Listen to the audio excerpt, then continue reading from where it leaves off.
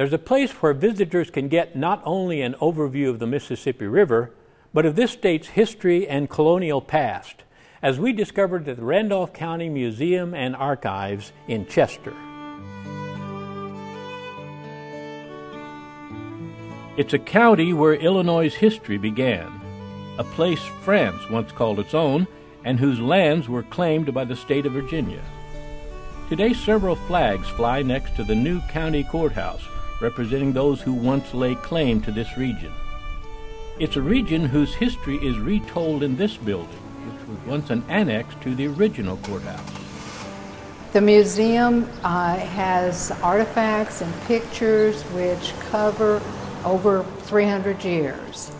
Since this uh, was uh, the biggest settlement of the Illinois area, the of the French area in, in Illinois, we it was it always had the court records. So we have thousands of documents from the 1700s, which are known as the Kaskaskia manuscripts. We have some records when it was part of the Indiana Territory from 1800 to 1809. Some of those are at Vincennes also. Uh, then we have all the records, the court records from 1809.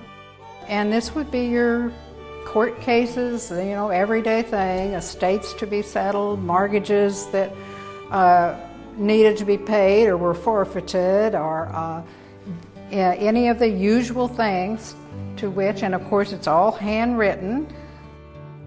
In these records are recorded some of the actions of Illinois' future leaders, such as Pierre Menard, who later became the state's first lieutenant governor. And he paid a, a dollar for a license permit to uh, run his ferry that was in 1809. And that is the, the would be considered a huge desk now. It's the land desk from Kaskaskia. And after George Rogers Clark captured Kaskaskia in the American Revolution and and people started coming in and staking out claims on land. This was the land desk that was used to record those. For a short time, Kaskaskia was the capital of this newly formed state of Illinois. From that era is this lock and key from the home of Shadrach Bond, Illinois' first governor. And there are other items on display reminding visitors of the rich and varied history of this region. One of the one of the larger items that we have in the museum is the wine press, and this came from the Wine Hill community, uh, from that township. Uh, when the Germans started immigrating into the area, uh, they found that the southeastern part of Randolph County had hills and soil which were very much like what they had left in Europe from and conducive for the wine. We have the medicine chest that was in the office of a Dr. Fritchie, and it has the circular uh, ca- uh, shelves in it. And of course, at that time, when you went to the doctor, you didn't need another tri- trip to the pharmacy. You you were able to get your medicine, whatever you needed. And so he had to have shelves to hold all those little little bottles of pills and whatever he added to them. Also on display is this electric chair from the Menard State Penitentiary, last used in 1938 for the execution of a female and her accomplice. She decided that on her brother's wedding day that if he married, she would not receive his $5,000 insurance. His wife would surely get it.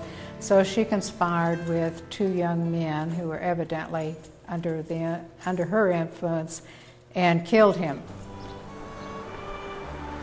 When people come here, they can it quickly goes through about 300 years of Illinois history where Illinois actually began with uh, the top floor of the courthouse, of the new courthouse, is a rotunda uh, with glass all around and gives just a wonderful view of uh, Kaskaskia, uh, Missouri, uh, the city of Chester. Um, just complete 360 degree circle, and it's just a magnificent view. Chester is also famous as the hometown of Elzie Segar, the creator of the Popeye comic strip. It's reported that he based a number of his characters on local townfolks. There's also a museum in town dedicated to him and his creation.